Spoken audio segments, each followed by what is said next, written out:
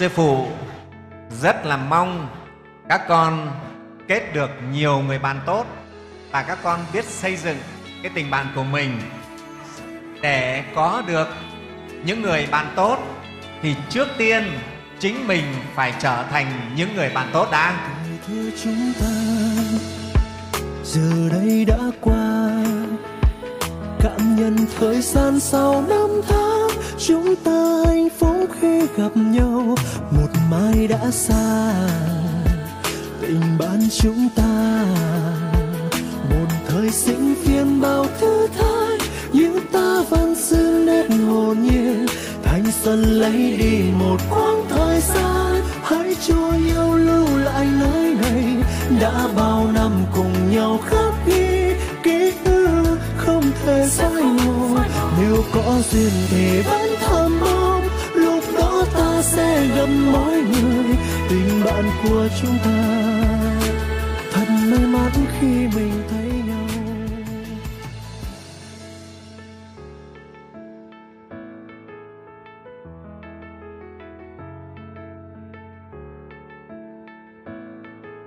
Chính khóa tu mùa hè này và những khóa tu mùa hè năm sau sẽ là cái môi trường để các con được rèn luyện, được tu dưỡng những phẩm chất tốt để chính mình trở thành người tốt, thì các con sẽ có được những người bạn tốt. Giờ đây đã qua, cảm nhận thời gian sau năm tháng, chúng ta hạnh phúc khi gặp nhau. Một mai đã xa, tình bạn chúng ta. Một thời sinh viên bao thứ thái nhưng ta vẫn giữ nét hồn nhiên.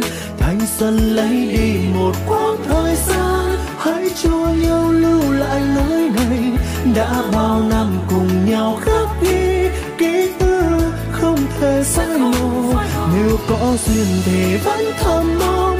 Lúc đó ta sẽ gặp mỗi người, tình bạn của chúng ta.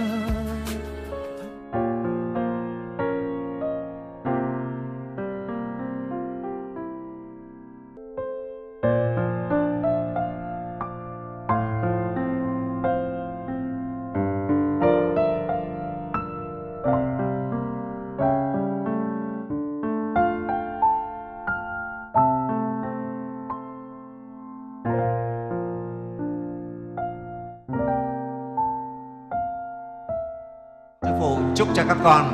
Kết thật nhiều tình bạn tốt và nắm chặt tay nhau. Đi trên cuộc đời này, xây dựng cuộc đời ngày càng càng tươi đẹp.